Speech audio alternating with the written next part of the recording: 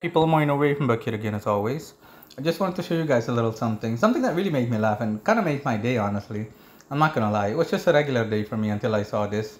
This is essentially a Dutch article in which it turns out that uh, Suriname has been used as um, Suriname as a country has been, as a quote unquote country, has been used in the plot of a South American, uh, a South Korean um, drugs movie or a thriller where drugs was um, uh, was where the emphasis was laid upon drugs. In any case, the header in green here up top says Netflix drugs movie with Suriname in the essentially, uh, which essentially starring Suriname, as in Suriname being in the main role, um, damages its image.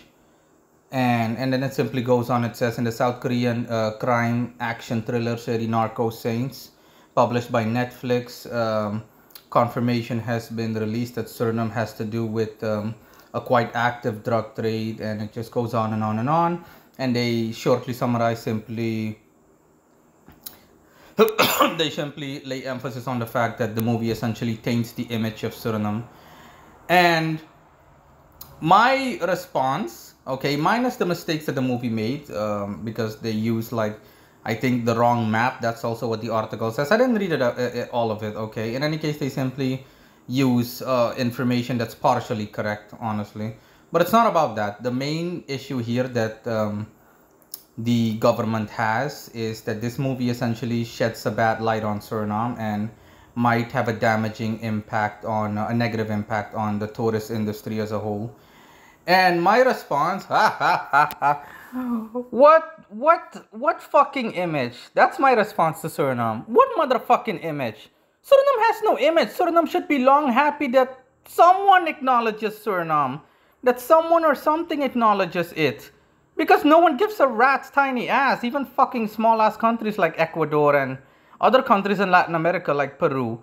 They have no idea that Suriname even exists. They ignore Suriname outright because Suriname is not even worth like a blip on the radar. so again, my response is, what fucking image? When I saw this, oh, I laughed so hard. I'm not gonna lie to you. You can still hear in my voice that I have like after after giggles, if you want to call it that. Okay, in the wake of reading this article. And I'm just like, okay, what image and what tourist industry? Are you kidding me? What tourist are you talking about? You're talking about like what? The the stupid thousand uh, before COVID at least, the thousand a year uh, tourists that came to Suriname, 90% of which were what? Euro trash, second and third class citizens in in the Netherlands whom no one gives a rat's ass about. So that's why they come over here because they're like rejects from other countries. Those are tourists, like a thousand a year. Seriously, that's an active. That's a tourist industry. Oh, it made me. Oh no, this thing really made me laugh. Uh, it damages. It taints the image of the country. Uh, for once, Suriname is not a country. Suriname is a cesspool that belongs to the Netherlands. Secondly, what motherfucking image? What image does Suriname think it has? I mean, wow. If Suriname was a person, right? Suriname would be like a severely mentally disturbed individual that I don't think that there's enough therapy in the world to help that person, that there would be. Okay. Essentially, someone in a straitjacket in an isolation chamber. Uh, the person should be long happy that it gets acknowledged. Regardless, any kind of acknowledgement is, is acknowledgement. Okay even negative acknowledgement. Bye bye guys